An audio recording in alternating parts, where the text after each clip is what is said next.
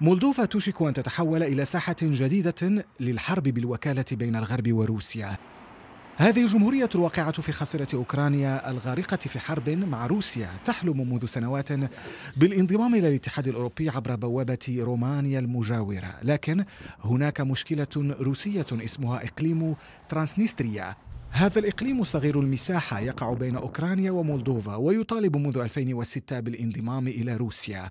ومنذ عام 2014 تاريخ ضم القرم طالب الإقليم رسميا من مجلس الدوما الانضمام إلى الاتحاد الروسي.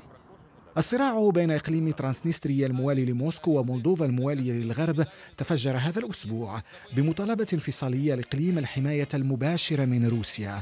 وفرضت سلطات مولدوفا رسوما جمركية على السلع الواردة من وإلى الإقليم. Uh, واشنطن دخلت سريعا على الخط وأعلنت دعمها لسلطات مولدوفا. على الخريطة تبدو الأطماع واضحة بين موسكو وواشنطن. فجمهورية مولدوفا لديها منفذ مباشر على البحر الأسود والنقطة الأقرب هي ميناء أوديسا الأوكراني. لكن قوات انفصالي إقليم ترانسنستريا غير بعيدة عن هذا الميناء الاستراتيجي.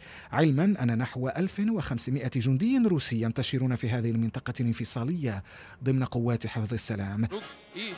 توتر جديد من شأنه تعقيد الوضع لأوكرانيا ومولدوفا. السعيتين للانضمام إلى الاتحاد الأوروبي. في وقت يتجه إقليم دونباس الأوكراني ليكون جزءا من الاتحاد الروسي وقد يرفع إقليم ترانسنستريا المولدوفي قريبا العلم الروسي.